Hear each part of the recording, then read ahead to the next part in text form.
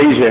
અત્યારે એમના પિતાશ્રીની તબિયત ખરાબ છે એવા સમાચાર મળતા એમણે જવું પડેલું હતું ક્યારના નીકળી શક્યા હોત, પરંતુ ઇટ વોઝ અ કમિટમેન્ટ કે હું આપને ત્યાં આવીશ. તો આપણી વચ્ચે આવીને આ સમય આપ્યો. એમના પિતાશ્રી એક બાજુ અમદાવાદ એમને પહોંચવાનું છે.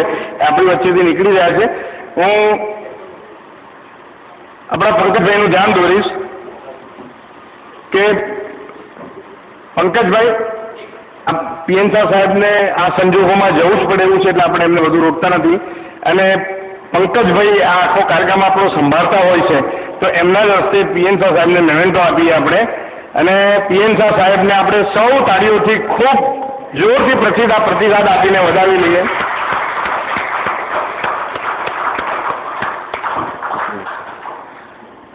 શાહ સાહેબનો ખૂબ જ આભાર. અંગત રીતે પણ હું એમનો ઋણી રહીશ.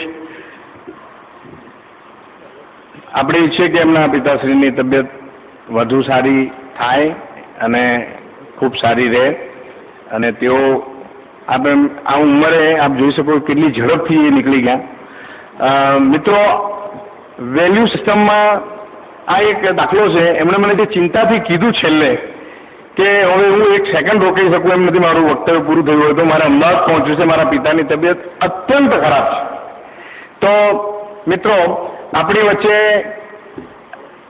આજે મેઘનાબેન સાહુ પધાર્યા છે. વર્ષો પછી વડોદરાને અને આપણે ગુજરાતને કહીએ તો એક સારા હેન્ડરાઇટિંગ એક્સપર્ટ થમ ઇમ્પ્રેશનના એક્સપર્ટ ફોટો સુપરઇમ્પોઝિશન કરીને અભિપ્રાય આપવા માટે જાણીતા ઘણા પોલીસ ઓફિસરો અદાલતો એમનો અભિપ્રાય માન્ય રાખે છે. અને આપણી વચ્ચે તેઓ પધાર્યા છે, સમય આપ્યો છે અને એક પ્રયાસ છે કે એ આપણને અહીંયા જે કંઈ પડદા ઉપર કર્ટેન ઉપર પ્રોજેક્ટરથી જેટલું કંઈ બતાડી શકે, દેખાડી શકે આપણને સમજાવી શકે, એવો એક પ્રયાસ છે. આપણે સૌ એમને તાળીઓથી વધાવી લઈએ.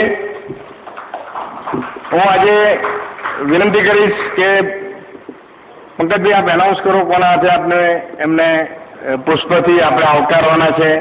હાલો. પ્રદીપભાઈ સાહેબને વિનંતી કરીશ મેડમને બુકે આપીને. આપણે હું પ્રદીપભાઈને માફ કરજો પ્રદીપભાઈ તમે મારા ઘરના છો એટલે હું તમને અટકાવું છું. આપણે કોઈ બહેનને એનો લાભ કેમ ના આપીએ? તમે જ. પ્રેરણાબેન ગાયકવાડને વિનંતી કરીશ પ્લીઝ પ્રેરણાબેન ગાયકવાડને આપણે સૌ વિનંતી કરીએ છીએ કે તેઓ મેઘનાબેન ઝાઓનું પુષ્પગુચ્છથી વેલકમ કરે અભિવાદન કરે થેન્ક યુ મેઘનાબેન અ, જ્યાં સુધી આ વ્યવસ્થા ગોઠવાઈ જાય આપની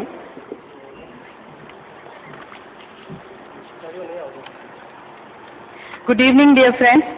I first of all thank uh, Advocate Rajendra Trivedi for giving me this opportunity to present this science in front of you all. Thank you so much and thank you for this forum and uh, giving me a patient hearing. Thank you.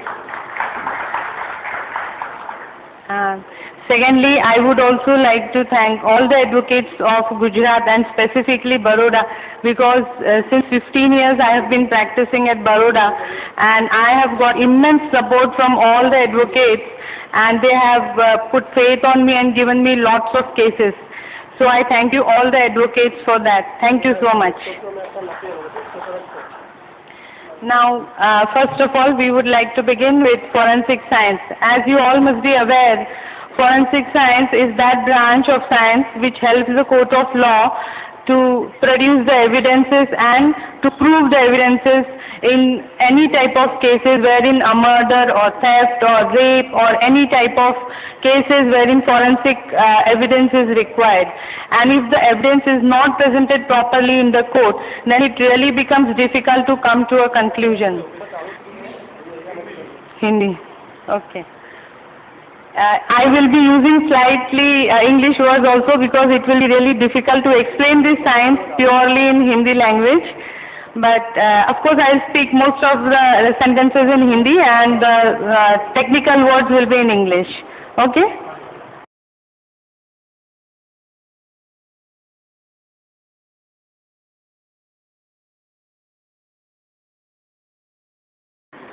As you all know, I am a forensic expert but I also practice as a handwriting expert, as a fingerprint expert. Actually, forensic science includes all the branches wherein you can practice as a forensic expert, as a um, handwriting expert, fingerprint expert, examination of photographs.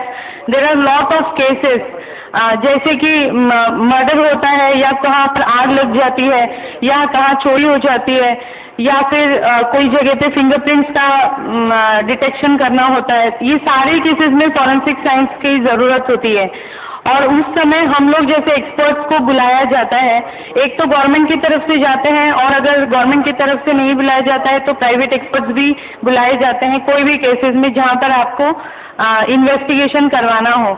बहुत बार ऐसा होता है कि जैसे कुछ, किसी school में एक बार चोरी हुई थी, उनको आउट नहीं करना था क्योंकि उनसे बदनामी हो जाएगी स्कूल की और शायद उनका रेपुटेशन खराब हो जाएगा। तो उन्होंने मुझे बुलाया था और फिंगरप्रिंट एग्जामिनेशन करना था। वहाँ पे किसी प्यून ने कुछ पैसे चोरी कर लिए थे प्रिंसिपल के ऑफ़िस से। तो उसकी वजह से उनको फिंगरप्रिंट्स का एग्जामिनेशन करवाना था। तो इस तरीके से फॉरेंसिक साइंस का यूज़ बहुत सारी जगह पर हो रहा है।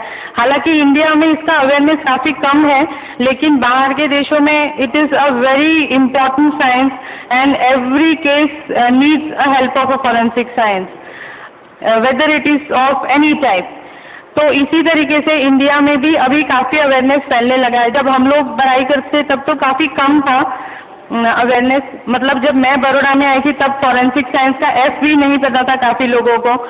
तो लेकिन अब जब सीआईडी के सीरियल शुरू हो गए हैं और काफ़ी डिस्कवरी पे भी पुलिस फाइल्स दिखाने लगे हैं तो काफ़ी लोग उसमें इंटरेस्ट लेते हैं। तो उस वजह से फॉरेंसिक साइंस का काफ़ी प्रचार हुआ है और लोग भी उसको एक्सेप्ट करने लगे हैं।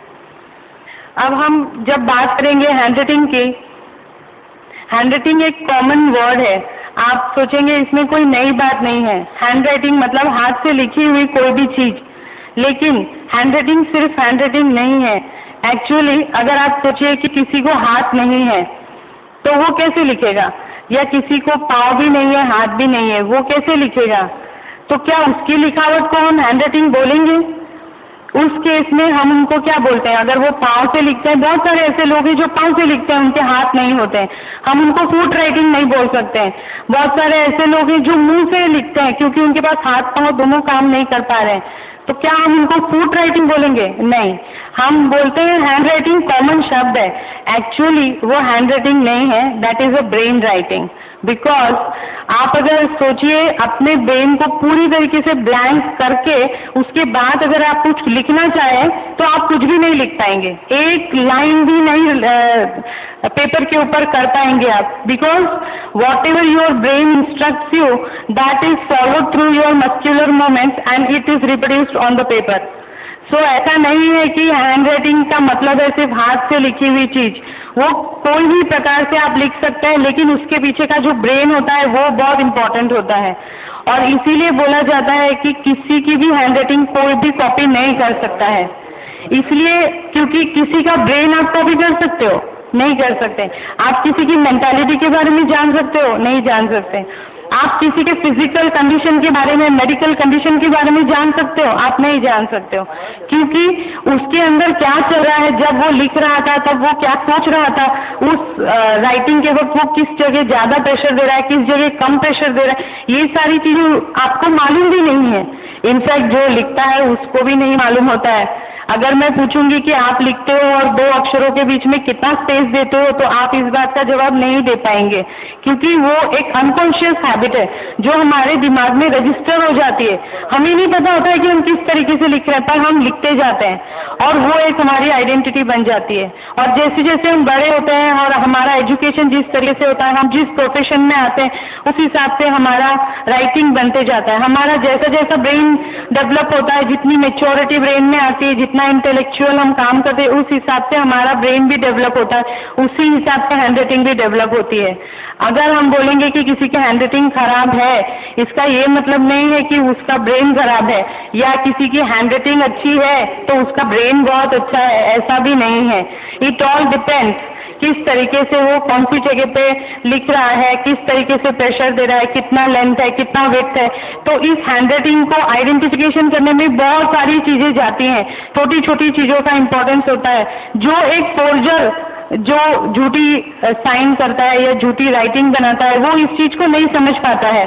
क्योंकि उसको तो सिर्फ़ इतना ही पता है कि मुझे आउटवर्ड जैसा दिख रहा है क ऐसा दिख रहा है तो मैं उसको वैसा लिख दूँ। एल ऐसा दिख रहा है तो मैं उसको वैसा लिख दूँ। उसको तो बस इतना ही पता होता है कि मुझे उसको कॉपी करना है। पर उसको ये नहीं पता होता कि उस राइटर के अंदर चलने वाली कितनी सारी बातें होती जो हम कॉपी नहीं कर पाते हैं। और उसी वजह से हैंडराइटिंग एक्सपर्ट एक फोर्जर को आसानी से पकड़ लेता है। क्योंकि कोई भी आदमी, किसी भी आदमी की राइटिंग या सिग्नेचर कभी भी कॉपी नहीं कर सकता हंड्रेड परसेंट कॉपी नहीं कर सकता। थोड़ा बहुत twenty percent thirty percent fifty percent इस तरीके से कॉपी होता है। अगर आप ट्रेस पेपर यूज़ करें, या आप कार्बन पेपर यूज़ करें, या दूसरी कोई मेथड यूज़ करें तो आप उसके हिसाब से कॉपिंग कर सकते हो। You can be close to it but you can not perfectly copy anybody signature और handwriting so this is the basic principle of handwriting comparison. In every person every human being has a particular unique style of writing which cannot be imitated by anybody. And that particular style becomes his identification factor in later on years. Now if we come to signatures. Signatures are termed as your public images and handwriting is your private image there are two different parts. Whatever you sign is what you want to project yourself as a person in front of the society. And handwriting is what you think private, in your private life, whatever you are, that is your private life and that uh, depicts handwriting. So handwriting is different and signature is different. Now if we come on to uh, I had lot of slides prepared for you so that I can give you a, a good demo, but it seems it's not working properly. So by the time let us discuss like that. Uh, I would like to tell you one thing that whenever signatures are copied, sometimes it so happens that the person who is copying the signature copies the outward part of the letters and outward parts of the signatures.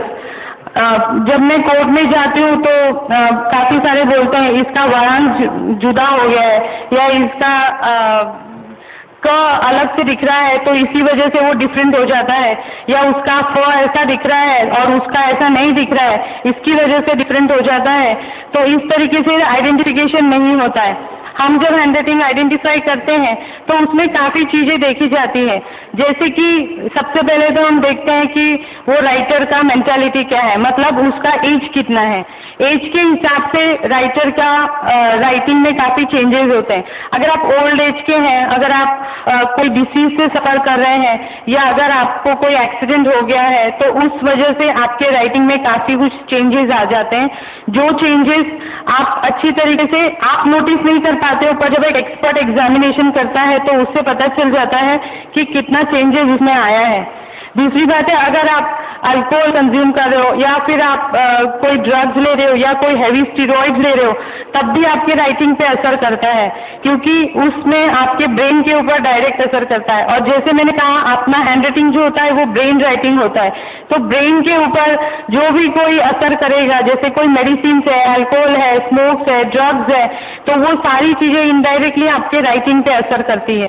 तो इसी वजह से जब भी कोई आदमी इस तरीके से लेता है राइटिंग तो हम लोग उसका पहले प्रोफ़ाइल जानना चाहते हैं कि ये आदमी की उम्र क्या है, इसको कोई डिसीज है क्या? मान लीजिए किसी को हार्ट डिसीज है, या किसी को पैरालिसिस है, या फिर किसी को दिमागी की कोई बीमारी है तो he will not be able to write properly because his brain is not functioning properly his heart is not in coordination with brain so lot of science goes into it because brain and heart works work in and then only we produce a writing. so this way, when we analyze that, first of all, we go into the profile of the writer. What kind of writer he is and how, uh, what is his age, what is his uh, condition. Then we come on to the period of writing. मान लीजिए कि अगर जिस भी document के ऊपर dispute हुआ है अगर वो डॉक्यूमेंट 2011 का है और हमें एग्जामिनेशन के लिए उनके सैंपल्स मिले हैं 2000 uh, 1980 के या 1990 के so those are not the fit samples because there is a gap of around 20 years in between 2011 and 2000, uh, 1980, more than that. So we take samples as close as the date of the disputed document. So you see there is also every five years there is a change in the writing. Uh, we call it as natural variations. मतलब जो भी आप अपने writing में तफावत लाते हैं, जो भी आप राइटिंग में सुपरफिशियल चेंजेस लाते हैं, उस चेंज को हम लोग साइंटिफिक लैंग्वेज में नेचुरल वेरिएशंस बोलते हैं। और वो नेचुरल वेरिएशंस आपके राइटिंग में ग्रेजुअली एक के बाद एक के बाद आते जाते हैं। सारे हर पाँच साल में तो वो बहुत ही प्रोमिनेंटली दिखने लगते हैं। इसीलिए हम लेते हैं सिग्नेचर्स बहुत क्लोज सिग्नेचर्स जो डिस्प्यूटेड डॉक्यूमेंट से एकदम क्लोज वाले हों, ताकि एनालिसिस करते वक्त हमको कोई दिक्कत ना हो। उसके बाद हम लोग एक एक करके पैरामीटर्स देखते हैं। हैंड राइटिंग जो होता है, उसका एनालिसिस करते वक्त at least twenty to twenty five parameters are taken into consideration उसमें से जैसे स्पीड है अब आपको खुद को नहीं पता होता है कि आप किस स्पीड से लिख रहे हो। बस आप इतना बोल सकते हो कि हाँ मैं जल्दी लिख लेता हूँ हाँ मैं धीरे लिखता हूँ, या मुझे थोड़ा देर लगता है, इतना आप बोल सकते हो। लेकिन एग्जैक्ट आपका कितना स्पीड है, कौन से शब्द पे आप रुकते हो और कौन से शब्द पे आप शुरू करते हो ये चीज़ आप लोगों को पता नहीं होती है। वही चीज़ हम लोग पकड़ते हैं। तो स्पीड ऑफ़ राइटिंग में ये सारी चीज़ें आती हैं कि आदमी कहाँ पेन उठाता है, कहाँ पेन रोकता है, कहाँ पेन से कंटिन्यूसली लिखता है, उसके बाद फिर वो कितनी बार रोकता है, क्योंकि जितनी बार आप पेन उठाओगे, उतनी बार आपका राइटिंग का स्पीड भी असर करता है।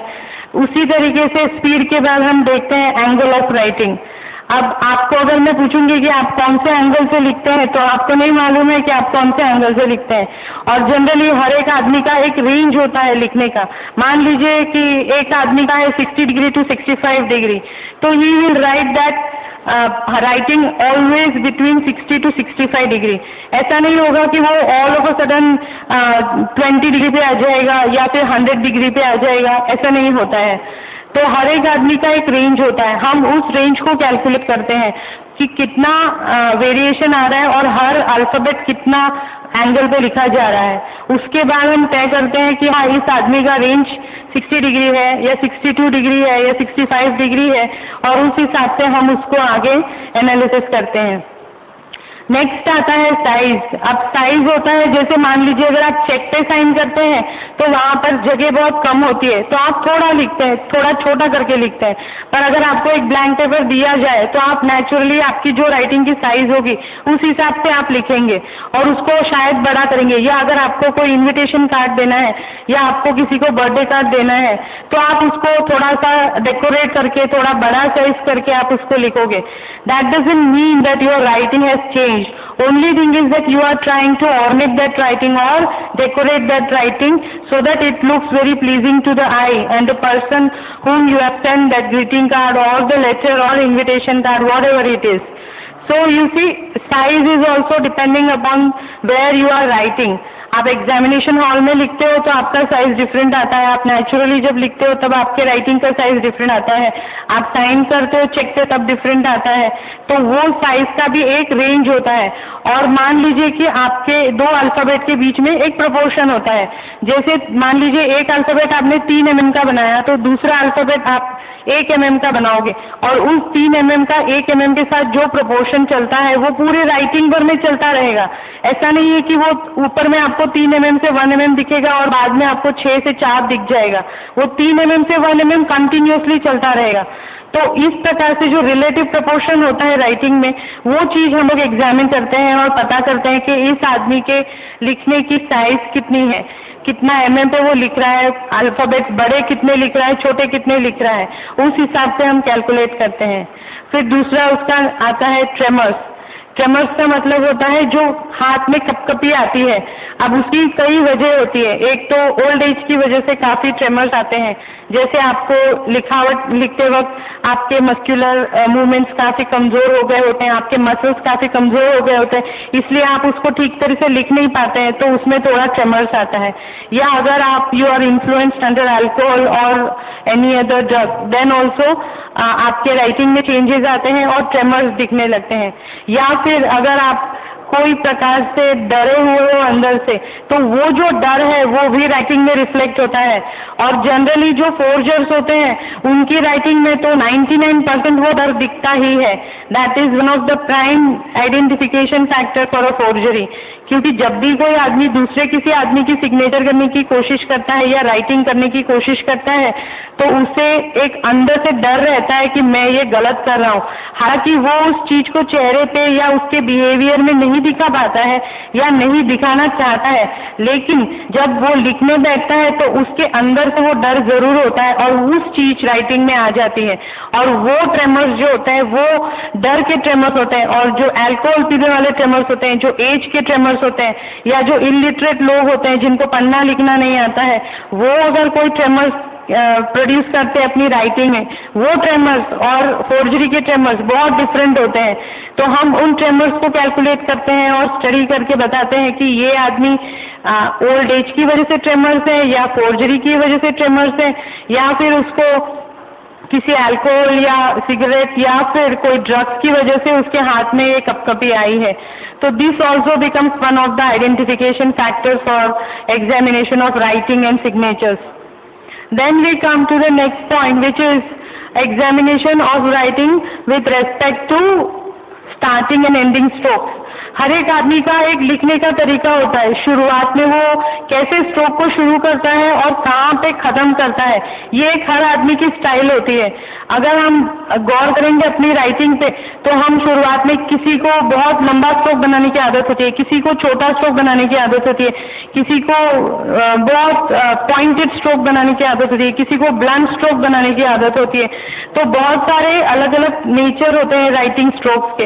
वो अगर स्ट्रोक्स हम लोग उस तरीके से प्रोड्यूस करते हैं तो that also becomes identification factor for writing examination and signature examination similarly अगर कोई फोर्जर है तो वो आपके एक दो सिग्नेचर सिर्फ़ देखता है। उसने पूरी लाइफ में आपने कैसे राइटिंग निकाले, आप कैसे लिखते हो उसको पता नहीं होता है। इसलिए वो जो एक दो सिग्नेचर देखता है, बस उसी को वो कॉपी करने की कोशिश करता है। और उसी कॉपी करने के चक्कर में वो मार्क्स खा जाता है और वो गलत तरीके से कॉपी करता है, जो पकड़ में आ जाता है।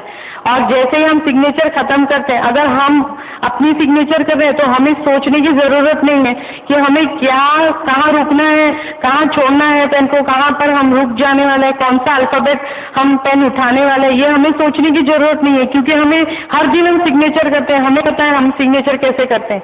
लेकिन जो फोर्जर होता है, उसे नहीं पता होता है कि आप कहाँ रुकते हो, आपका पेन कहाँ पर चल पड़ता है, कौन से स्ट्रोक पे आप जाते हो और कौन से स्ट्रोक पे कम प्रेशर देते हो।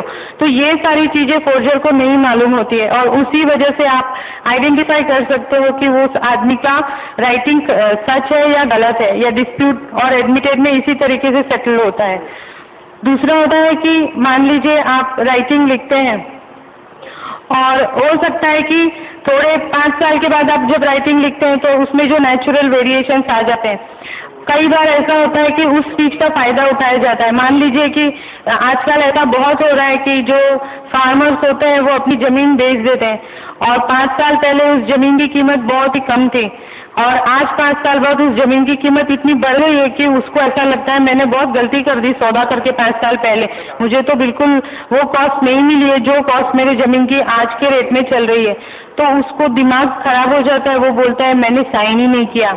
आपके साथ जो डॉक्यूमेंट दिया, मैंने आपको उसको दिया ही नहीं है। मैंने राइटिंग भी नहीं किया, मैंने साइन भी नहीं किया। मेरा थंब प्रिंट भी नहीं है, मेरा फोटोग्राफ भी नहीं है।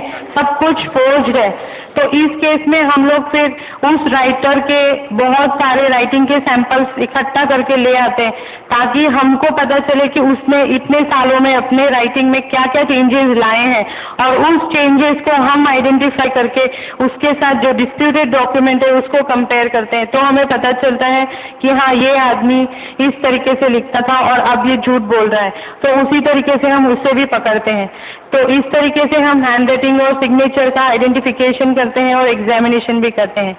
अब हैंड राइटिंग के साथ और एक चीज़ जुड़ी है which is called as graphology शायद आप लोगों में से सब लोगों को ग्राफोलॉजी के बारे में ना पता हो। Graphology is a field wherein आप राइटिंग के ऊपर से आदमी का स्वभाव बता सकते हैं। आदमी क्या सोच रहा है, ये बता सकते हैं। आदमी क्या कर सकता है, ये आप बता सकते हैं। वो कौन से फ़ील्ड में अच्छा करेगा, ये आप बता सकते हैं। उसके कितने पोटेंशियल्स हैं?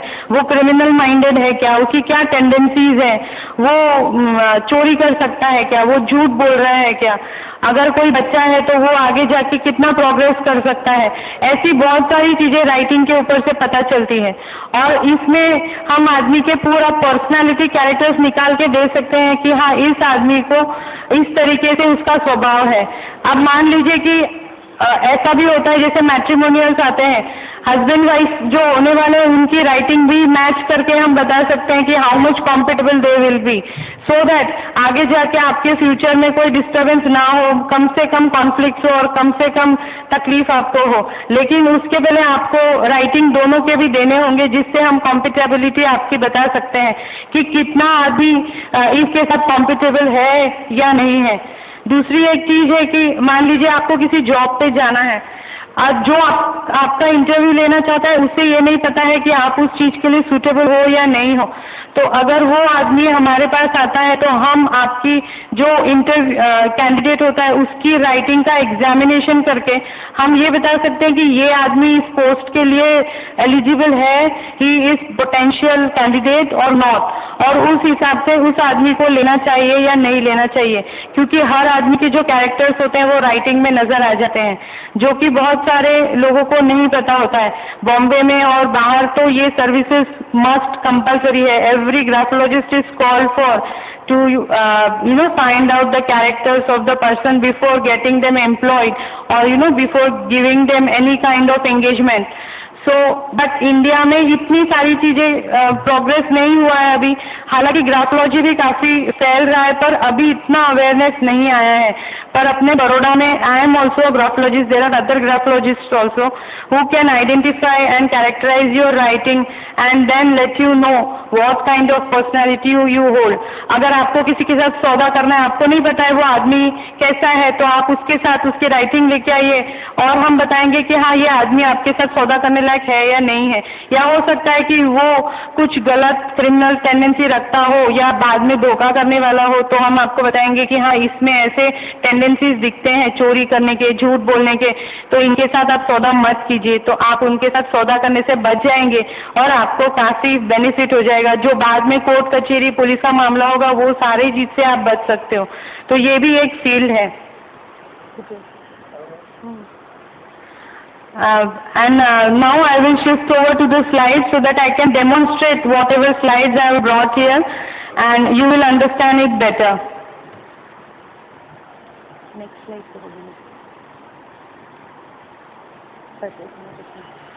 Now, this is uh, forensic expert is there to offer an unbiased opinion. हालाँकि बहुत बार बोला जाता है कि आप प्राइवेट है तो पैसा खा के आपने रिपोर्ट बनाया है। आप अ, इस तरीके से रिपोर्ट दिए हो। हालाँकि कोई भी फॉरेंसिक एक्सपर्ट का कोई दुश्मन नहीं होता और कोई फ्रेंड नहीं होता है। We are only professionals we have been engage by the party we give our honest opinions but most of the time such kind of allegations are uh, you know, put in front of us during the uh, court proceedings. So a forensic scientist is there to offer an unbiased opinion. He has no friend to favor and no enemy to avenge. And our reports are admissible under section 45 in all the courts of India. Now we have examination of different things ऐसा नहीं है, जैसे मैंने आपको बोला कि सिर्फ़ hand writing का एग्जामिनेशन हम नहीं करते हैं, बहुत सारी चीज़ों का एग्जामिनेशन करते हैं। जैसे कि आपने देखा फोर्थ सिग्नेचर्स लिखा हुआ है, वो तो आपको पता है, जो अभी मैंने आपको बताया। उसके बाद ऐसा भी होता है आजकल जैसे टाइप रिटर्न डॉक्यूमेंट्स होते हैं। अब कोई डॉक्यूमेंट टाइप रिटर्न है, आगे का पन्ना सही है, पीछे का पन्ना सही है, लेकिन बीच में पन्ने गायब हो गए या चेंज हो गए हैं। मान लीजिए आपने किसी के साथ सौदा किया कुछ पर्टिकुलर प्रॉपर्टी के लिए और बीच में से पेजेस गायब हो गए और वो प्रॉपर्टी डबल हो गई मल्टीप्लाई हो गई। आप एक प्रॉपर्टी का सौदा करते हो और दस प्रॉपर्टी का यहाँ पे पावर ऑफ़ अटॉर्नी बन जाता है या बानाखत बन जाता है तो आपको दिक्कत हो जाती है। इस समय हम लोग एक्सपर्ट जो होते हैं, वो कंप्यूटराइज प्रिंट्स अगर होते हैं या टाइप रिटर्न प्रिंट्स होते हैं, हम दोनों को एग्जामिनेशन करके हम ये बताते हैं कि ये पेज चेंज हुआ है या नहीं हुआ है, ये पेज में कितना एडिशंस हुआ है और उस हिसाब से उस डॉक्यूमेंट की वैलिडिटी या इनवैलिडिटी प्रूव होती है। तो हैंड राइटिंग जैसे मैंने कहा forensic science is a huge branch उसमें बहुत सारी चीज़ें कवर होती है, उसमें से ये एक चीज़ है। दूसरा है डिस्गाइज राइटिंग डिस्गाइज राइटिंग मतलब मान लीजिए कि मैं आज कुछ सौदा करना चाहती हूँ और अचानक से मैं अपनी राइटिंग का नेचर इतना चेंज कर देती हूँ कि सामने वाला राइटिंग पहचान ही नहीं पाए और उस चीज़ में, उस राइटिंग को आइडेंटिफिकेशन करने के लिए जब समय आता है, तब हम बताते हैं कि नहीं, इस आदमी ने अपनी राइटिंग को चेंज किया है। तो उसको हम बोलते हैं डिस्गाइज राइटिंग अपने ही राइटिंग को वो चेंज करके दूसरी तरीके से पेश करना चाहता है। मुझे एक बात बताइए, अगर आप पैंट शर्ट पहन रहे हैं या अगर आप सलवार सूट पहन रहे हैं और कोई दिन आप साड़ी पहन लो या फिर आप सूट पहन लो या शेरवानी पहन लो तो क्या आपका अपीयरेंस चेंज होगा? पर पर्सनालिटी चेंज हो जाएगी? आपकी पर्सनालिटी चेंज नहीं होगी। आप कपड़ों से, आप बालों के कलर से, आप मेकअप से अपने आप को थोड़ा बहुत सुपरफिशियल चेंज कर सकते हो। पर आप अपनी पर्सनालिटी को कभी चेंज नहीं कर सकते। वही चीज़ राइटिंग में भी होती है। आप राइटिंग को अगर आप सीधा लिख रहे हो तो आप टेढ़ा लिखना चालू कर दो। आप इस तरीके से टेढ़ा लिख रहे हो तो आप उल्टे डायरेक्शन में लिखना चालू कर दो। तब भी राइट से लिख रहे हो तो लेफ़्ट से लिखना चालू कर दो। फिर भी आपकी राइटिंग तो चेंज नहीं होगी, क्योंकि उसके पीछे जो ब्रेन है वो तो एक ही है। तो उसमें तब भी फ़र्क नहीं पड़ेगा। तो इसीलिए डिस्गाइज राइटिंग भी पकड़ी जाती है। Then we come into overwriting decipherment erasures ये सब ये होता है जब मान लीजिए आपने कुछ डॉक्यूमेंट बनाया और कुछ बेनिफिट के लिए उसको इरेज कर दिया या उसको मिटा दिया या उसको ओवर राइटिंग कर दिया तो उसका भी हम एग्जामिनेशन करते हैं और ये पता करते हैं कि कौन सा इंक पहले था कौन सा राइटिंग बाद में लिखा था। कौन सा इरेजर हुआ था और कौन सा इरेजर नहीं हुआ था। कौन से इरेजर होने के बाद दूसरी चीज़ लिखी गई है उसमें, ये भी हम पता कर सकते हैं। तो उसको हम डेसीफरमेंट मतलब उसमें आता है जैसे मान लीजिए कि आजकल नेचुरल जूसेस से भी लिखते हैं, जो टेररिस्ट लोग होते हैं, वो लोग वेजिटेबल के जूसेस या दूसरे कोई केमिकल्स होते हैं, उससे भी वो लोग लिखते हैं ताकि वो डीकोड ना हो राइटिंग ताकि कोई लॉ एजेंसी उनको पकड़ ना सके। तो वो सारे जूसेस से लिखी हुई राइटिंग जो होती है, उसको हम लोग एनालिसिस करके पकड़ सकते हैं कि ये आदमी ने ये चीज़ लिखी है। मतलब ज़रूरी नहीं है कि राइटिंग आपको इंक से ही लिखनी है। तो बहुत सारी चीज़ों से लिखी जाती है, उसका डेसिफरमेंट भी फॉरेंसिक साइंटिस्ट करते हैं। फिर हम आते हैं एग्जामिनेशन ऑफ़ इंक जैसे मैंने आपको बोला कि कोई इंक कौन सी चीज़ पहले लिखी है और कौन सी चीज़ बाद में लिखी है? तो उसमें हम एग्जामिनेशन में आते हैं। मान लीजिए आपने एक ब्लैंक डॉक्यूमेंट पे साइन किया पाँच साल पहले और उस डॉक्यूमेंट का यूज़ पंद्रह साल बाद आपके किसी नजदीकी रिश्तेदार ने या किसी दोस्त ने मिसयूज कर लिया। आपने बोला, मैंने तो आज की डेट में कभी साइन ही नहीं किया। पर आपको ये याद नहीं है कि पिछली डेट में आपने उसको साइन करके रखा था। In that case we examine the inks and let you know कि this is the signature of year and this is the signature of year so and so so उसमें पकड़ में आ जाता है कि ये पहले साइन हुआ था और डॉक्यूमेंट बाद में बना था। तो इस तरीके से भी एग्जामिनेशन होता है। Then we come into forensic examination of papers जैसे मैंने आपको बताया कि आजकल कंप्यूटराइज और टाइप रिटर्न जो डॉक्यूमेंट्स होते हैं, वो सब्सटीट्यूट हो जाते हैं। साइन करवाते हैं, पीछे बीच में से चेंज करवा देते हैं। या बीच के डॉक्यूमेंट सही रहते हैं, पीछे का पेज चेंज कर देते हैं। तो उसी का एग्जामिनेशन जो होता है पेपर का एक्सपोजर होता है, उस हिसाब से पेपर में भी चेंजेस होते हैं। वो सारी चीज़ें हम देखते हैं और उसका एग्जामिनेशन करते हैं। Then we also offer services for fingerprints footprints latent prints latent prints का मतलब होता है जो प्रिंट्स हमें दिखाई नहीं देते हैं। और उन प्रिंट्स का डेवलपमेंट करना एग्जामिनेशन करना, ये भी एक फॉरेंसिक साइंटिस्ट का काम होता है। उसे कई अनेक मेथड्स होते हैं जो हम लोग डिपेंड करता है फिंगरप्रिंट किस सरफेस पे, दीवार पे है चेयर पे टेबल पे है, कहाँ पर है। उस हिसाब से हम वो केमिकल यूज़ करके उसका डेवलपमेंट करते हैं। और बाकी जो फिंगरप्रिंट्स जो दिखाई देते हैं नेचुरली उसको हम लोग एनलार्ज करके एग्जामिन करके पता करते हैं कि किसी भी आदमी का फिंगरप्रिंट एक दूसरे के साथ मैच नहीं हो सकता है, तब हम उसको बताते हैं कि हाँ ये फिंगरप्रिंट आपका नहीं है। And fingerprint is one of the perfect science wherein nobody can cheat you of course आजकल फोर्जर्स ने उनकी भी एक तरकीब निकाल ली है, पर फॉरेंसिक साइंटिस्ट को भी पता है कि किस तरीके से उस फिंगरप्रिंट को आइडेंटिफाई करना है। इसीलिए fingerprint identification plays a very important role during the hearing of a case.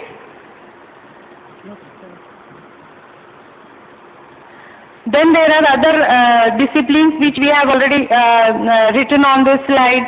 Uh, it can be related to explosives, it can be related to ballistics. Explosives का मतलब bombs और जो um, explosive material होता है use उसके examination में ballistics का मतलब अगर कोई firearm use होता है कोई बंदूक use होती है उसका examination उसके बाद बायोलॉजी और सिरोलॉजी में आता है कि आपके जो यूरिन टेस्ट होते हैं ब्लड टेस्ट होते हैं, उसके बाद आपके पसीने टेस्ट होते हैं, आपके बहुत सारे बायोलॉजिकल फ्लूइड्स टेस्ट होते हैं, उसके बेसिस पे आपने डीएनए फिंगरप्रिंटिंग का भी नाम सुना होगा, उसके बेसिस पे भी बहुत सारे टेस्ट कैरिड आउट किए जाते हैं और ये सारे बायोलॉजी सिरोलॉजी सेक्शन में आते हैं, जो कि एक फॉरेंसिक साइंटिस्ट कवर करता है। Then we have tool marks जैसे एक्सीडेंट्स होते हैं तो दो गाड़ियों के बीच में जो फ्रिक्शंस होते हैं, उनके ऊपर जो मार्क होते हैं, वो सारे मार्क्स का एग्जामिनेशन करके भी हम पता करते हैं एक्सीडेंट का इम्पैक्ट कैसा था, सामने से हुआ था, पीछे से हुआ था, किस तरीके से लोगों को चोट आई थी एक्सीडेंट कैसे हुआ था। और जैसे टूल मार्क्स होते हैं, जैसे मान लीजिए कि अगर कोई मर्डर में कोई पर्टिकुलर हथौड़ी का इस्तेमाल हुआ हो या दूसरी कोई चीज़ का इस्तेमाल हुआ हो तो उसके भी अलग मार्क्स होते हैं जो वहाँ कोई ना कोई चीज़ से टकराते हैं और उसके ऊपर मार्क्स आ जाते हैं। वो सारे मार्क्स का एग्जामिनेशन करने के लिए हम लोग टूल मार्क्स बोलते हैं। उसमें हम एग्जामिनेशन करके पता करते हैं कि ये इंस्ट्रूमेंट या ये टूल पर्टिकुलरली इस क्राइम में यूज़ हुआ था या नहीं हुआ था।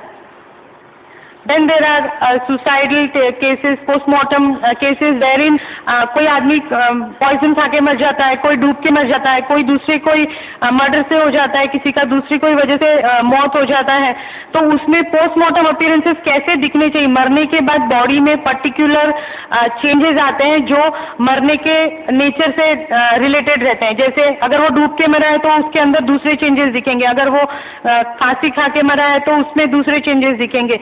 तो वो चेंजेस अगर पोस्टमार्टम में नहीं दिखते हैं तो हम ये पता करते हैं कि इसका कॉज ऑफ़ डेथ मतलब मरने का वजह कोई और हो सकता है, ना कि जो दिखाया गया है। तो क्रिमिनल केसेस में या जैसे सुसाइडल केसेस में होता है कि उसने सुसाइड किया है या नहीं किया आपको नहीं पता है। तो उसमें भी हम लोग एग्जामिनेशन करके बताते हैं कि हाँ ये सुसाइड केस है या फिर ये खुद से मरा है या फिर इसने किसी ने इसको मारा, मार दिया है। ये सारी चीज़ें भी इस पर डिपेंड करती हैं। किस तरीके से केस है। अब आप ये देखेंगे, ऊपर वाला जो सिग्नेचर है, वो झूठा सिग्नेचर है फोर्थ सिग्नेचर है, और जो नीचे वाला सिग्नेचर है, वो जेन्युइन सिग्नेचर है। अब आप देखेंगे कि जो नीचे वाला सिग्नेचर है, उसमें जो पहला अल्फ़ाबेट है, वो कंप्लीट राउंड है ए लेकिन जो ऊपर वाला अल्फ़ाबेट है ए उसका ऊपर के पोजीशन में आप देखेंगे तो एक पॉइंट जैसा आपको नज़र आएगा। उस पॉइंट में फोर्जर ने गलती कर दी। क्योंकि उसको ये नहीं पता था कि अल्फ़ाबेट ए जब हम लिखते हैं तो हमें सोचने की ज़रूरत नहीं है कि उसको राउंड स्ट्रोक बन के सीधा नीचे आना है। पर वो तो डरा हुआ था, उसके मन में तो डर था कि मैं किसी और की सिग्नेचर कर रहा हूँ। तो वो क्या करता है, वहाँ जाके रुक जाता है, सोचता है एक सेकंड के लिए कि मैं क्या करूँ आगे, और फिर नीचे आता है। उसी डर को पॉइंट में कन्वर्ट हो जाता है, और उस पॉइंट से हम पकड़ लेते हैं कि ये यहाँ पे रुका क्यों? पेन क्यों रुका? नेचुरली कोई आदमी सिग्नेचर करता है तो पेन रोकता नहीं है। स्मूथली पेन पेन आगे चला जाता है। पर इस केस में उसने रोक दिया, इसलिए पता चल गया कि हाँ ये आदमी ने फोर्जरी की है ओरिजिनल साइन नहीं है। फिर आप जब देखेंगे उसके टी की तरफ़ उसका एल की तरफ़ तो आपको देखे, दिखेंगे कि उसमें काफ़ी शेकीनेस आ गया है, जो एजेस है स्ट्रोक्स के, वो थोड़े कम ज़्यादा हो रहे हैं और ऊपर नीचे हो रहे हैं, एकदम स्मूथली नहीं बने हुए हैं। क्योंकि उस आदमी के अंदर में जो डर था, जैसे मैंने आपको इनिशियली बताया कि कोई भी आदमी किसी की भी सिग्नेचर या राइटिंग करता है तो उसके अंदर एक डर होता है। उस डर को राइटिंग में रिफ्लेक्ट होना ही है। उसी राइटिंग में रिफ्लेक्ट होने की वजह से हमने पता कर लिया कि ये एक फोर्थ सिग्नेचर है। और जो जेन्युइन सिग्नेचर है, नीचे आप देखेंगे वो कितना स्मूथली बना हुआ है। और उसमें जरा भी रुकाव नहीं है। पेन कहीं उठा नहीं है पेन कहीं रुका नहीं है बीच में अननेचुरल जगह पे। अब दूसरा आप एक चीज़ देखेंगे कि ए के नीचे में लेफ़्ट साइड में एक छोटा सा पॉइंट दिखता है, जो रियल सिग्नेचर है नीचे वाली। उसमें आप देखेंगे, एक छोटा सा ऐसे इंक डिपोजिशन जैसे दिखता है एक्सट्रीम राइट साइड में ए के। वो जो है, ये आदमी को किडनी का प्रॉब्लम था। उस आदमी के स्टोन्स थे और बहुत सीवियर पेन था। उस पेन की वजह से वो लिख नहीं पाता था और जब भी हम राइटिंग को तीन बॉडी के हिस्से में डिवाइड करते हैं upper region middle region lower region तो अगर हम लोअर रीजन में कोई डिस्क्रिपेंसी या इरेगुलरिटी देखते हैं तो that is directly related to something which is causing discomfort in the lower portion of your body अगर हम राइटिंग के अपर पोर्शन में कोई डिस्कम्फर्ट देखते हैं तो that is directly related to your upper body portion and simultaneously अगर middle portion में कोई प्रॉब्लम आता है तो मिडिल पोर्शन में पता चल जाता है। इस आदमी को किडनी का प्रॉब्लम था। अब जिसने उसकी साइन फोर्ज की, उसको कहाँ पता था कि उसकी किडनी की प्रॉब्लम है? तो उसने तो उसका ए बना दिया। पर नीचे में जहाँ पे डॉट करना था, वो डॉट वो करना भूल गया। और इसका डिपोजिशन लाना भी भूल गया। इसीलिए वो फोर्जर फिर पकड़ा गया कि उसने उसकी साइन नहीं की थी। तो इस तरीके से बहुत सारे कैरेक्टर्स होते हैं जो हम राइटिंग आइडेंटिफिकेशन में लाते हैं। इसीलिए हम बोलते हैं कि writing is a record which is form visible record of your brain which is form after continuous practice of years and whatever education and profession you are getting into that forms your writing so this becomes a very main principle of handwriting identification ये देखेंगे, ये दो signature जो है, वो एक ही आदमी के दो सिग्नेचर्स हैं। अब इसमें आप फ़र्क देखेंगे कि जो के है और नीचे का जो के है, उसमें थोड़ा लूप का डिफरेंस है। आप एल देखेंगे एन देखेंगे एच देखेंगे तो थोड़ा बहुत वेरिएशन आता है। लेकिन एक आम आदमी अगर उसको देखेगा तो बोलेगा, नहीं, वो के ऐसा नहीं बना है इसलिए ये डिफरेंट है। नहीं, वो एल ऐसा नहीं बना है इसलिए वो डिफरेंट है। नहीं आई का डॉ थोड़ा लेफ़्ट में चला गया, इसलिए डिफरेंट है। नहीं, हम जब किसी की राइटिंग एग्जामिन करते हैं तो हम इस तरीके से एग्जामिनेशन नहीं करते हैं। इसीलिए जो एक्सपर्ट्स होते हैं, अगर उन्होंने अच्छी तरीके से एग्जामिनेशन नहीं किया तो कभी कभी रिज़ल्ट गलत भी आता है एरर्स होते हैं। तो हम जब राइटिंग का एग्जामिनेशन करते हैं तो उसके पीछे बहुत ही साइंटिफिक मेथड्स होते हैं और बहुत सारे पैरामीटर्स का इन्वॉल्वमेंट होता है। इसीलिए किसी का भी सिग्नेचर किसी भी आदमी को इतनी आसानी से करने का वो सोच सकता है पर वो हो नहीं सकता है। नेक्स्ट ये जो ग्राफोलॉजी के बारे में मैं आपको बता रही थी कि जो हम सोचते हैं, उस चीज़ के बारे में राइटिंग में रिफ्लेक्शन आ जाता है और हम उसके बारे में काफ़ी चीज़ें बता सकते हैं। आपकी सिग्नेचर देख के हम बता सकते हैं कि आप क्या सोच रहे हो, कैसे हो, क्या कर सकते हो। तो इसी चीज़ को ग्राफोलॉजी में स्टडी किया जाता है। जैसे मैंने आपको बताया कि आपको अगर अपना लाइफ पार्टनर चूज़ करना है, आपको जॉब चूज़ करना है, आपको ये पता करना है कि आपके बच्चे का इंटरेस्ट किस फ़ील्ड में जा रहा है, आपको अगर ये पता करना है कि ये आदमी ऑनेस्ट है या डिसऑनेस्ट है तो ये सारी चीज़ें आपको ग्राफोलॉजी से पता चलती है। और ग्राफोलॉजी से हम ये भी आपको बता सकते हैं कि आपका मेडिकल कंडीशन खराब है क्या, आपके कोई भी ऑर्गन्स में प्रॉब्लम है क्या? Of course that should be confirm from a doctor हम सिर्फ़ आपको एक डाउट बता सकते हैं कि हाँ आपके राइटिंग में से ऐसा लग रहा है कि आपको शायद पाँव में चोट आई है या पाँव में दुख रहा है या आपके सर में पेन हो रहा है। But that has to be confirm from medical practitioner it doesn't mean कि मैंने आपको बता दिया तो आप सीधा दवा लेना चालू कर दो। नहीं। हम ग्राफोलॉजिस्ट सिर्फ़ आपको एक लीड इन देते हैं, जिसको आप इन्वेस्टिगेट करके मेडिकल इन्वेस्टिगेट करके डॉक्टर से कन्फर्म करके उस हिसाब से आप आगे दवाइयाँ ले सकते हैं और आपका हेल्थ ठीक कर सकते हैं। अब आप देखेंगे, ये दो सिग्नेचर्स हैं। ऊपर वाली जो सिग्नेचर है, वो एक चोर की सिग्नेचर है जिसने डायमंड्स चोरी किए थे। और जो नीचे वाली सिग्नेचर है, वो एक ऐसे आदमी की सिग्नेचर है जिसके ऊपर शक था। ये कहानी ऐसी है कि एक स्टोर में ज्वेलरी स्टोर में चोरी हो गई थी और बहुत सारे डायमंड्स चोरी हो गए थे। अब उस ज्वेलरी स्टोर में छः सात लोग काम करते थे। तो जो मालिक था, उसको ये पता करना था कि ये छः सात में से किसने चोरी की है, क्योंकि उसको उन्हीं के ऊपर शक था। तो जब उसने छः सात लोगों को, हम लोगों को जब बोला तो हमने उनको मतलब एक ग्राफोलॉजिस्ट ने उनको इस तरीके से बताया कि आप उन छः छः सातों लोगों को राइटिंग सैंपल्स मुझे दे दीजिए। जब हमने उनके राइटिंग सैंपल्स और सिग्नेचर सैंपल्स स्टडी किए तो हमें पता चला कि इसमें से दो लोग ज़्यादा सस्पेक्ट है। उन दो लोगों की मैं सिग्नेचर लेके आई हूँ, जिसमें से ऊपर वाला जो आदमी है, वो चोर पकड़ा गया और जो नीचे वाला था, वो इनोसेंट था। आप देखेंगे जो ऊपर वाली सिग्नेचर है, उसको कितना डेकोरेट करके उस आदमी ने बनाया, एक स्टार बनाया है, जैसे डायमंड चमकता है वैसे। जैसे नीचे के जो उसके वाई के लूप्स हैं या दूसरे जो अल्फ़ाबेट थे कितने उसने बढ़ा चढ़ा के रंगीन से करके रखे हैं। तो ऐसे आदमी जो होते हैं ना, उनको अपने सिग्नेचर को बहुत सजा के, बहुत अच्छी तरीके से प्रेजेंट करना अच्छा लगता है। और वो इसी तरीके से प्रेजेंट करते हैं क्योंकि उनकी मेंटालिटी भी वैसी होती है। उसी चीज़ में हम पकड़ लेते हैं कि हाँ ये ज्वेलरी में इंटरेस्ट रखता है, ये मटेरियलिस्टिक है, इसको सारी चीज़ को ग्रास मतलब अपने पास रखना, अपनी मालकी में रखना पसंद है और इस हिसाब से वो राइटिंग पकड़ी जाती है। तो जो नीचे वाला आदमी था, वो इनोसेंट था, आप देखेंगे उसकी राइटिंग उसका जो सिग्नेचर है, वो इतना खराब दिख रहा है कि उसका प्रेजेंटेशन उसको कोई इंटरेस्ट नहीं है ज्वेलरी में।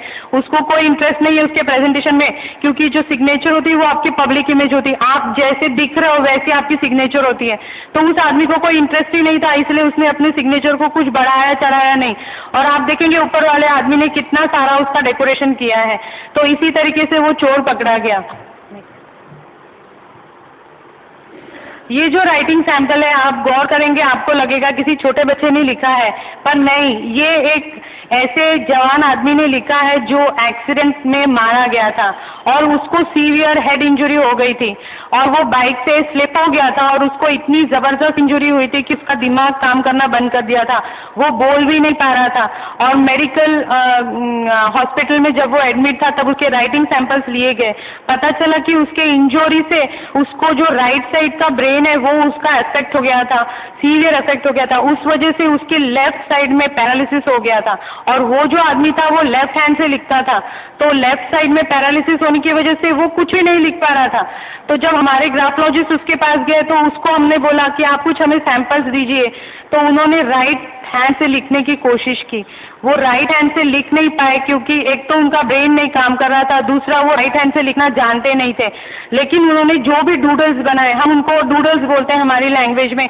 कुछ भी जैसे आप गुजराती में बोलेंगे, लिट्टे पारा लिट्टे जैसे बनाए हैं तो इस तरीके से उसने डूडल्स बनाए थे। और वो इंजुरी होने के बाद उसको वो ठीक नहीं हो पाया और इसीलिए हम बोलते हैं कि handwriting is not handwriting it's a brain writing if your brain stop functioning you can not write anything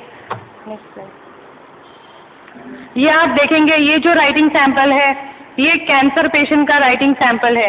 इस औरत को ब्रेस्ट कैंसर हुआ था और उसका कैंसर इतना बढ़ गया था कि वो पहुँच के ब्रेन में चला गया था।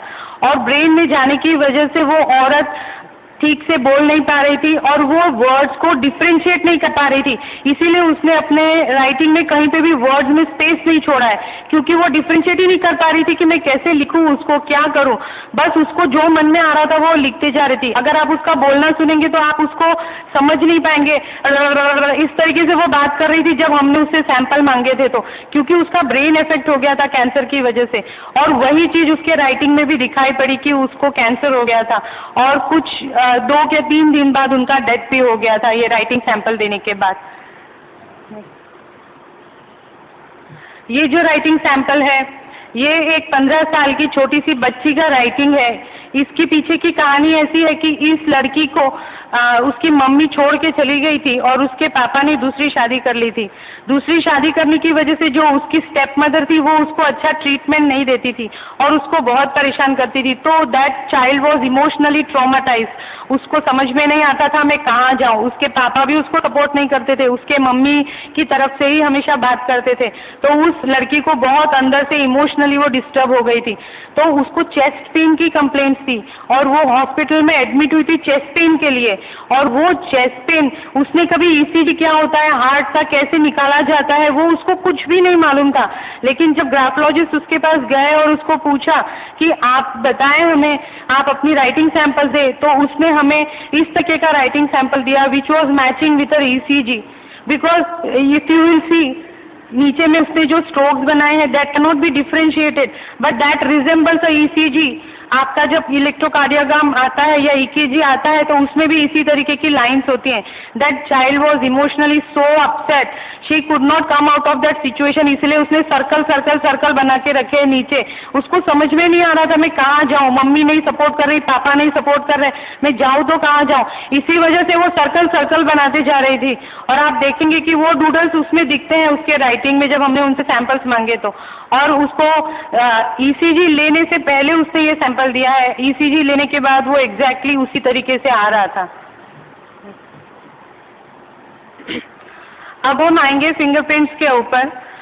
जैसे आप जानते हैं कि फिंगरप्रिंट्स ऐसी चीज़ है जो कभी भी मैच नहीं करती है।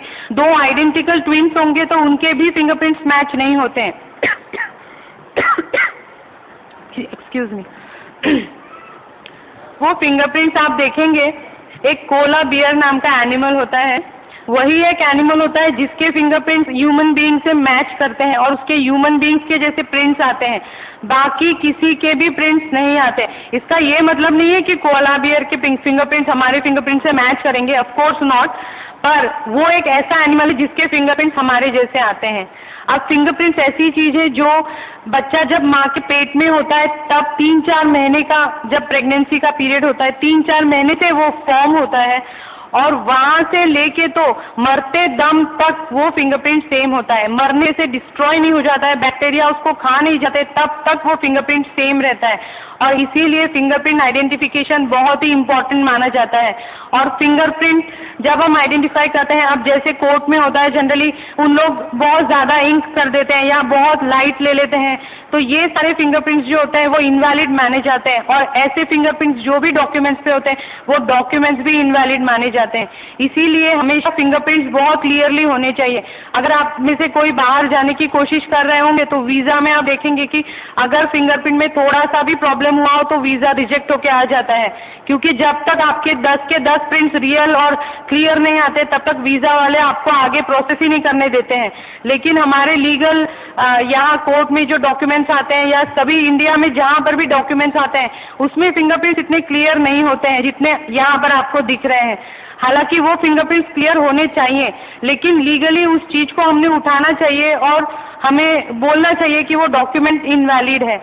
ये जो दो फिंगरप्रिंट्स हैं, ये अलग अलग आदमी के हैं। एक आदमी का फिंगरप्रिंट ले लिया गया था और दूसरे आदमी ने उसका फिंगरप्रिंट फोर्ज करने की कोशिश की।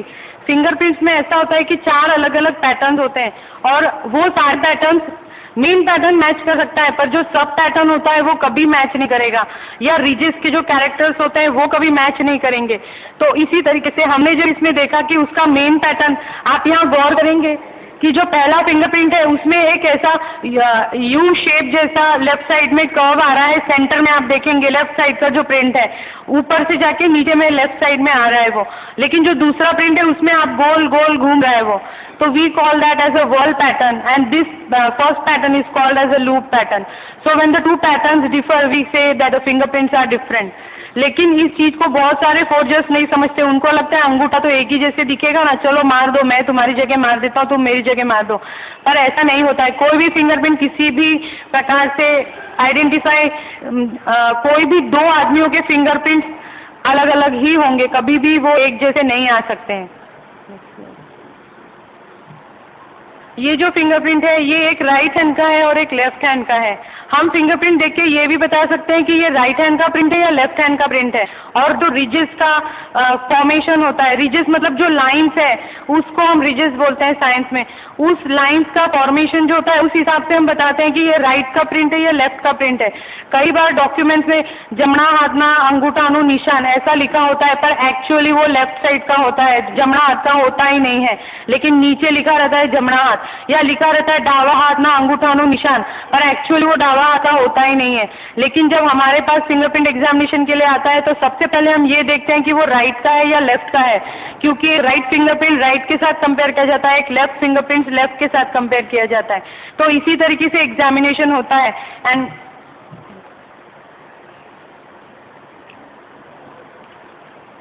we can find out which is the print it is of left or right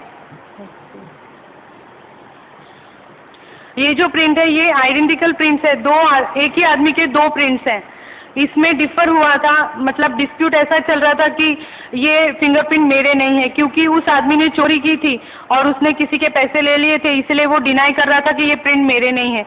लेकिन जब हमारे पास उसका एग्जामिनेशन आया तो हमने जब उसका पैटर्न स्टडी किया रिजेस की स्टडी की, और हम ये जो रिजेस आपको दिख रहे हैं, वो हम काउंट भी करते हैं, कितना रिजेस होता है, और वो सारे रिजेस का काउंटिंग होने के बाद हमें पता चला कि ये फिंगरप्रिंट उसी आदमी का है।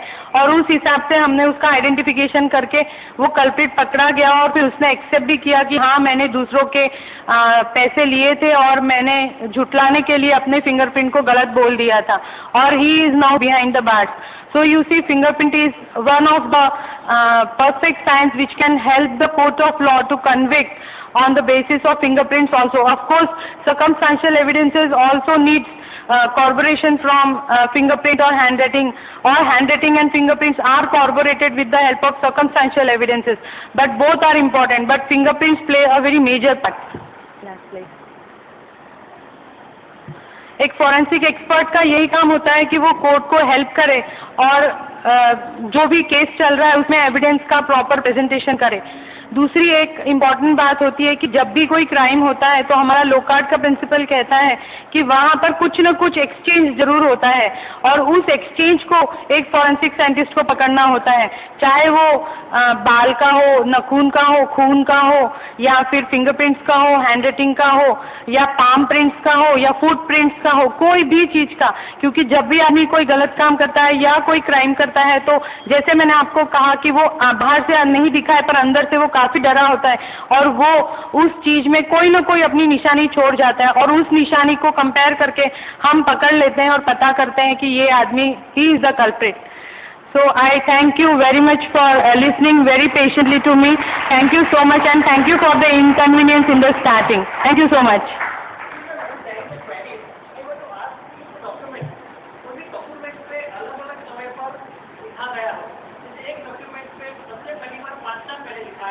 दूसरी बार वही डॉक्यूमेंट पे तीन साल पहले लिखा है और वही डॉक्यूमेंट पे एक साल पहले लिखा गया है।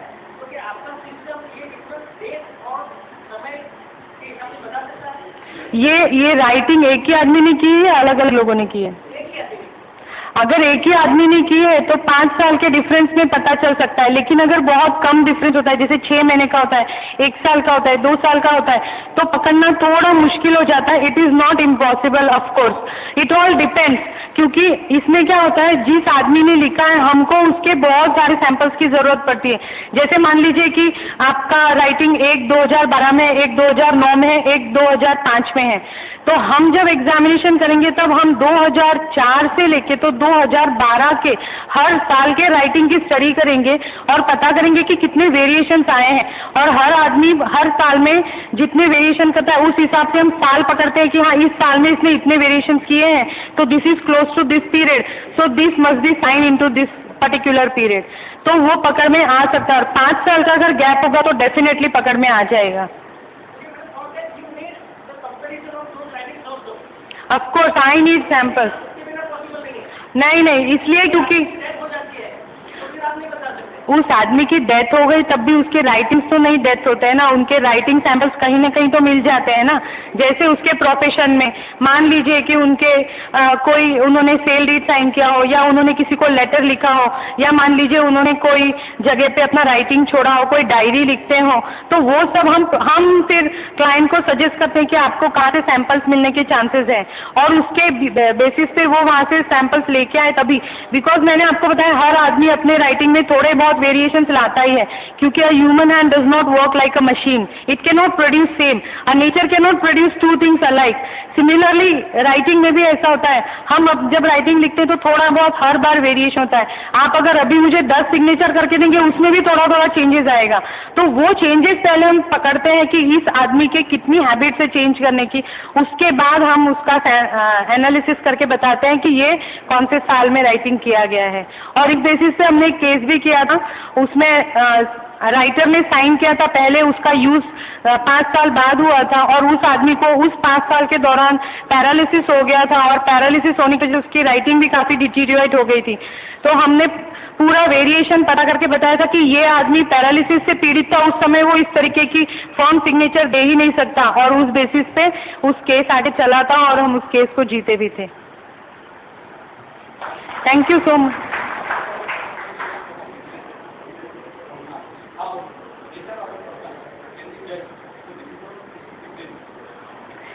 nature of a uh, uh, person can be judged from a signature based on the graphological principles.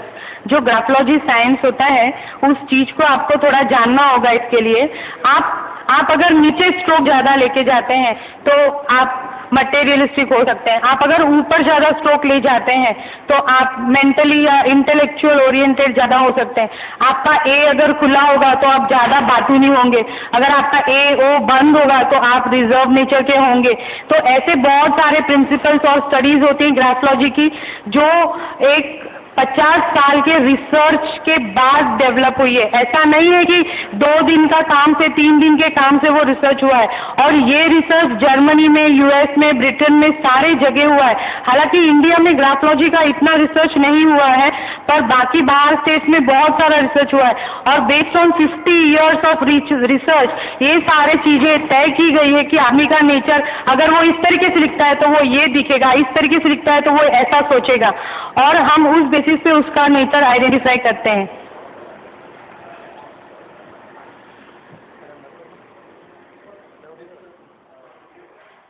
भेजने का पर उस केस में भी अगर आपको अपना प्री डिफेंस पता करना है कि ये सही में मैंने साइन किया या नहीं किया तो आप एक प्राइवेट एक्सपर्ट के पास, एक इंडिविजुअल पार्टी कभी भी आ सकती है। लेकिन गवर्नमेंट के पास आप डायरेक्टली नहीं जा सकते।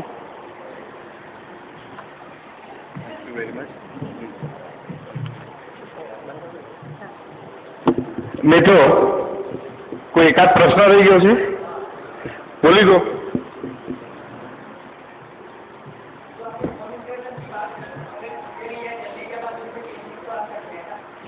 जो थर्म इम्प्रेशन होता है, उसमें इंजुरी या जलने के बाद चेंजेस ज़रूर आते हैं, पर अपने जो सेल्स होते हैं, वो इमीडिएटली रिकवर भी कर देते हैं स्किन को, और वो स्किन वापस आ भी जाता है। अगर उसमें थोड़ा बहुत स्कार रह जाता है तो पूरा थंबप्रिंट नहीं खराब होता है। इसलिए हम लोग, ऐसा नहीं है कि पूरे थंबप्रिंट का एग्जामिनेशन करते हैं। बहुत सारी जगह पर हमें सिर्फ़ पार्शियल थंबप्रिंट मिलता है तो चार, पाँच, दस रीजन भी मिलते हैं तो उसके ऊपर से भी हम आइडेंटिफाई करते हैं कि ये उस आदमी का थंबप्रिंट है या नहीं है। Thank you very much fingerprints ઉપર થમ ઇમ્પ્રેશન ઉપર બેનશ્રી તરફથી ખૂબ સુંદર વક્તવ્ય પ્રેઝન્ટેશન આપણને મેઘનાબેને આપ્યું.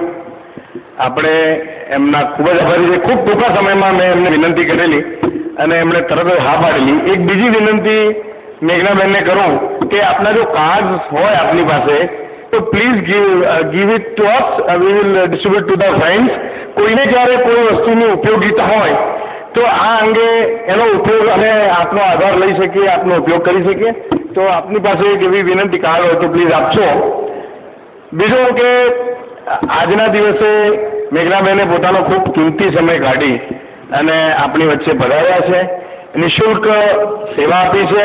ભવિષ્યમાં પણ આપતા રહેશું. ફરીવાર અમે ઈચ્છીએ કે આપનો આવો એક બીજો કાર્યક્રમ થાય જેમાં થોડું ઇન ડિટેલ કોઈ એક સબ્જેક્ટ લઈ શકાય.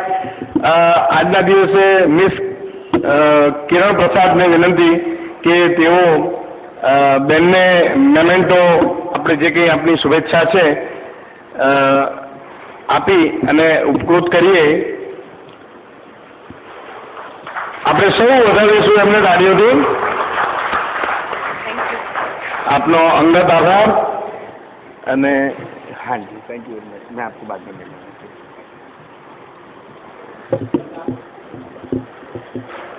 આજના દિવસે આપણા સિનિયર મોસ્ટ જેમની પાસે વિશાળ કાફલો આપણા જુનિયર્સનો અને એક એવો પરિવાર કે જે વટવૃક્ષ કહી શકાય, કાયદાના બાબતોમાં સુપ્રીમ કોર્ટ જજથી માંડી હાઈકોર્ટ જજથી માંડી, અને જેમના પિતાશ્રીએ મારા જુનિયર ડેઝમાં છત્રીસ વર્ષ પહેલા કદી પીઠ થાબડેલી, આ છોકરો કોણ છે? એવા એમના સુપુત્ર, એવા સિનિયર મોસ્ટ લોયર આપણા, આપણી વચ્ચે આપણા વડીલ મજમુનદાર શ્રી રોહિતભાઈ અને મિસિસ મજમુનદાર આપણી પાસે હાજર છે. આપણે એમને તાળીઓથી વધારીએ અને ભાઈ શ્રી પ્રદીપ શર્માને વિનંતી કે તેઓ રોહિતભાઈનું પુષ્પગુચ્છથી સ્વાગત કરે અને એમાં અમે બેનનું સ્વાગત પણ ગણી લઈશું. ખૂબ ખૂબ તાળીઓથી આપણે વધાવીએ.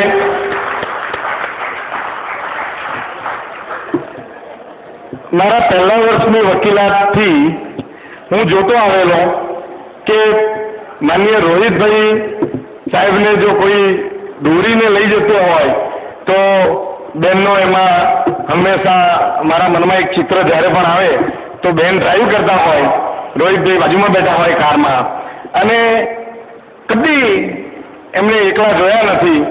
એટલું સુંદર કપલ છે જે ભાગ્યે મળવું મુશ્કેલ છે.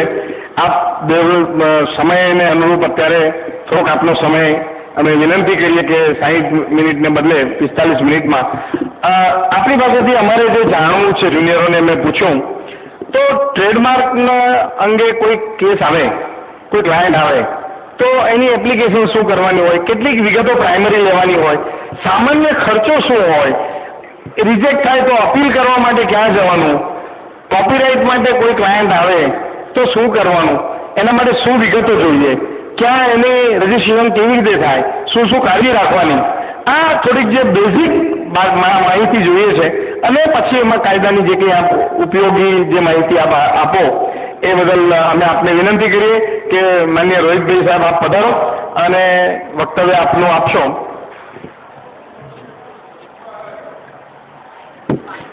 કોઈ કોઈ પ્રોબ્લેમ નથી. કદાચ માઇક વગર ત્યાં સંભળાય નહીં, તો એ વકીલ ન કહેવાય. વકીલનું કામ જ એ છે કે એને દૂર સુધી લોકો એને દૂર સુધી સાંભળી શકે. નજીક બેઠેલો જજ સાંભળે અને સમજે. એ બંને આપણા માટે જરૂરી છે. So a lawyer is suppose to be loud and clear so I think I am loud and clear to both anyway let us begin આમે ઘણું મોડું થયું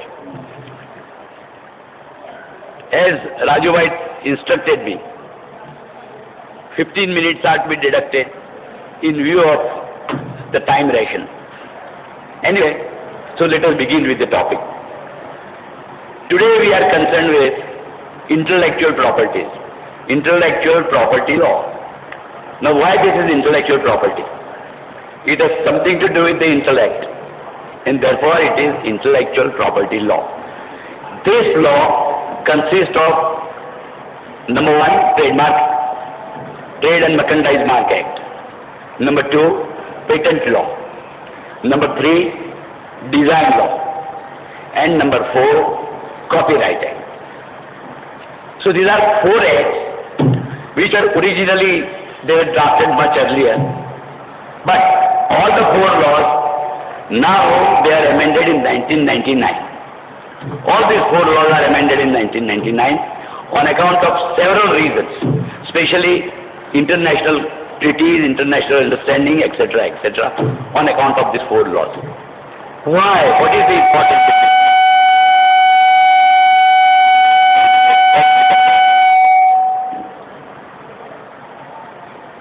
As you know, the name, let us start with the Trademark Act first. As you know, the name of a man is very important. When the child is born, lot of exercise has been done to name the child, girl or a boy. So the name of a human being, as it is so important, similarly, when you start your business, name of your business, name of your product, name of your thing with which you are coming in the market is of great importance. And with that name, you are going to thrive, either you are going to perish or progress. That depends what popularity that name gains. And that is why the mark of your trade, the particular mark under which you are trading, like Coca-Cola, Pepsi-Cola, these are two rivals, international rivals. Their names, but they, they really spend everything for their name. Of course, name is important even for human beings. Similarly, so far as trade is concerned, the name, trade name, the mark, trademark, is so important for the purpose of business. So it is absolutely commercial thing, and it is a property.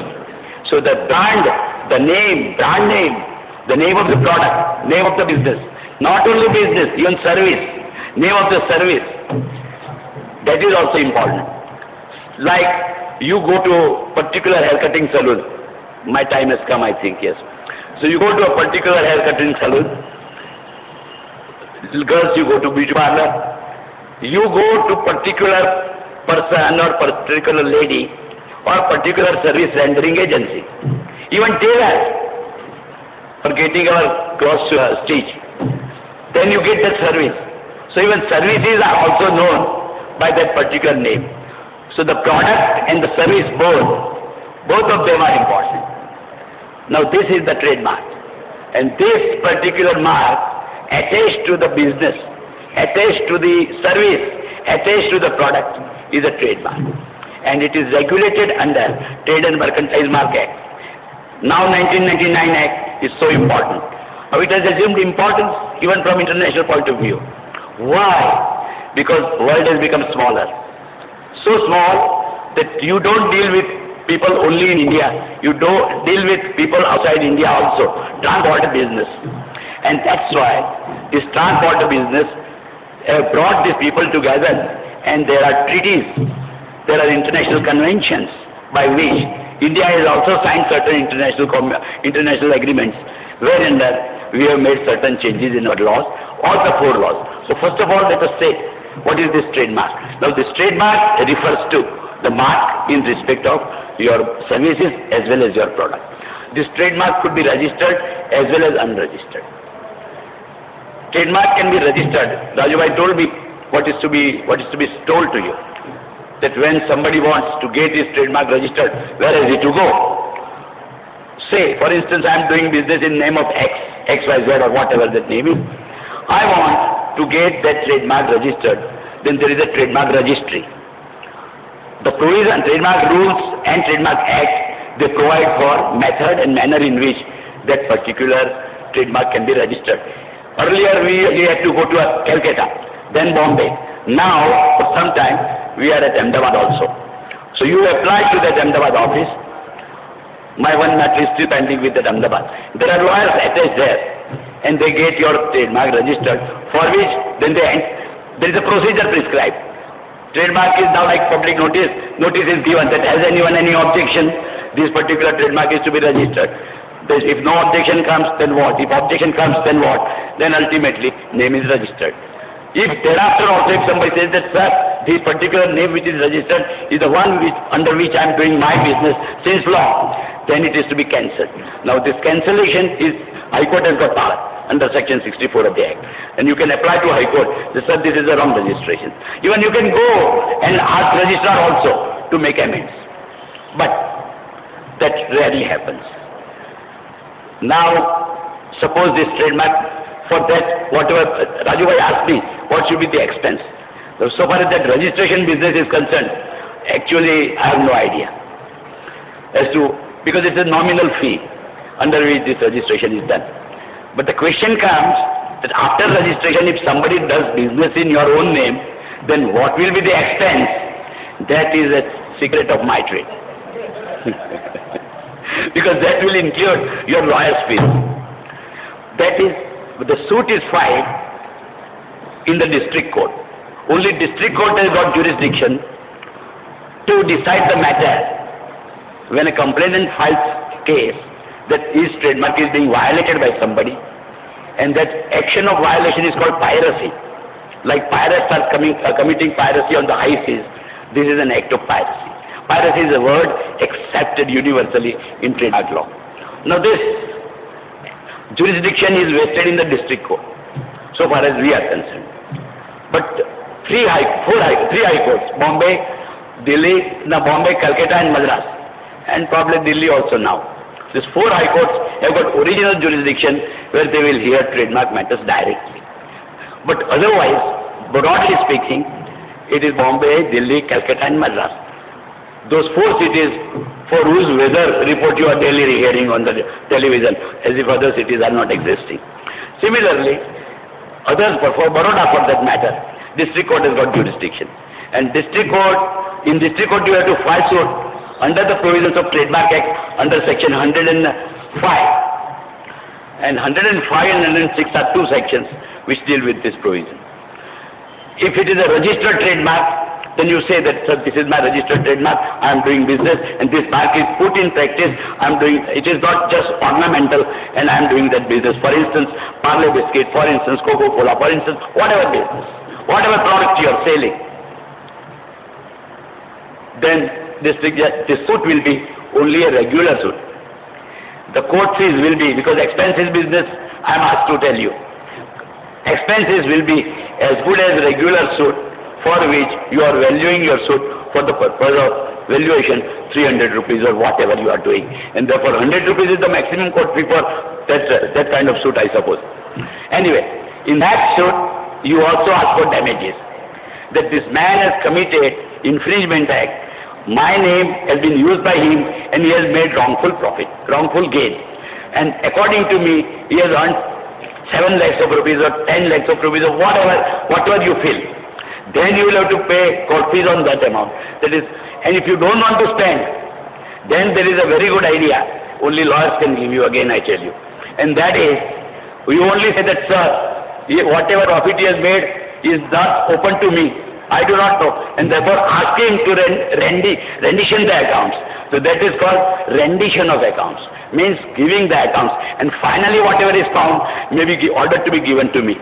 Only on rupees for 100 court fees you get this particular thing. But this is of course not that we are doing getting it free of charge. We have already got our trademark registered. And trademark registration is not only, as I said, only for the product, but it is also for services.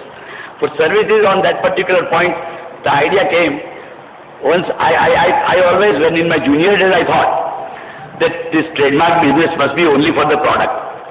But one case I came across, then thereafter is accepted in India, uh, lot, on lot level business. We say that a haircutting salon in London run in name of X, Y or Z because it had become so popular. Like so many saloons have become popular here. So many beauty parlors have become popular here. Like so many tailors have become popular. So they go, so people really uh, go to that particular place and get the services of that particular, used to get services of that particular haircutting salon. Another man started same business in the same line with the same name in different area of London suit was filed on the same lines because there also there is a law like this. In fact, our laws are based on that law. There, the court said that the, the, the, the defense was taken that, sir, it is not a product that is being sold. Where is the question of registration or no registration? I am only cutting the hair of this gentleman. Even ladies also, they come for that purpose. But Therefore, I use my scissor or whatever it is, comb also is the same. It is my art that I am putting into services. And it is his art that he is putting into services. And so where is the question of stopping me from using particular name? They said no. Court said no. It is the service that also comes within the purview of trademark because it is mark of the business and it is attached to your saloon, salooning business. And therefore, court had prevented him from using that particular thing change any other name. Now, in India, the question is, what names can be registered if I want to start my business? Whatever name I want to get it registered, the question will be, trademark registry will ask me, they just prefer the name. They won't give me the name. I'll have to choose the name. Like I name my baby, born. So, as I said, the same importance. So the name that is to be given is outside the one which is prohibited by law. What is that which is prohibited? The proper names are not allowed to be registered. Name of a person, name of a river, name of a country, name of a mountain, not registrable. And therefore, if these names are not registrable, what happens? That question came to me Again, in my junior days, as Rajubai very rightly told, that I was, in those days, my father was there. So my first trademark matter was with him. And that was a matter where there was one person was doing business at Baroda. He, he had opened his business in the name and style of Bharat Tiles. The name, look, the law says the country can't be, country's name can't be registered. The fellow started his business in the name of Bharat Tiles. No registration because registration is not permissible so far as country's name is concerned. River's name is Ganga, Ganga soap. That does also the same thing. Uh, so it's not registrable. Then eventually another fellow came and said that Bharat I am doing business since long. So he filed suit against us, our clients, saying that this word Bharat, how can you use? Then we say that you are not registered, I am not registered, why can I not use? And Bharat is everybody's Bharat. He said, Bharat Maybe everybody's Bharat, but the tiles are mine. and your tiles are yours. The business is mine and your business is yours. How can you use this? What is the called? If trademark is not registrable, because of this reason which I told you, then what do you do? Then the law says that this comes under ordinary law of tort, which is called common law action. And the common law action is whatever is not registrable doesn't matter. You cannot do any act which will jeopardize or cause damage to the business of somebody who is in the business same line prior to you. So his use must be prior use and he, if he is there, then no regist- the law which says that whatever trademark is registered and, and if the suit is filed, it is called infringement of trademark. But if trademark is not registered and if you want to file the suit, then it is called passing of action. Because there is no trademark registered. So passing of action means you pass off your goods in the by in the name of I mean you pass off your goods in the name of somebody else who is in the same business using the same name since long before you. What is to be proved in that case is passing of action comes within the ambit of Trademark Act and such a suit can also be filed under same section called section 105 of Trademark Act. But trademark is not registered because Bharat is not registrable. Baroda court surprisingly said that no trademark is not registered, you are not registered, you go home and therefore Mr. Majumdar you win. Well, I know it is a wrong judgment. Totally wrong judgment. But it happens. You argue, you win. Legally speaking, it's not correct. Matter went to High Court and we lost. And we should have lost and therefore we lost. Because there the High Court said, this is a reported case in 17 Gujarat Law Reporter, which the High Court said that no, no matter registration or no registration, the question is whether you can use his name which has acquired goodwill in the market. Bharat is not registrable, agreed. But can you, can you use the same name for the same business? If it is a Bharat Hotel, no problem. If it is Bharat Cement, no problem. But you are using the name for the same business and therefore it is called passing of action under the provisions of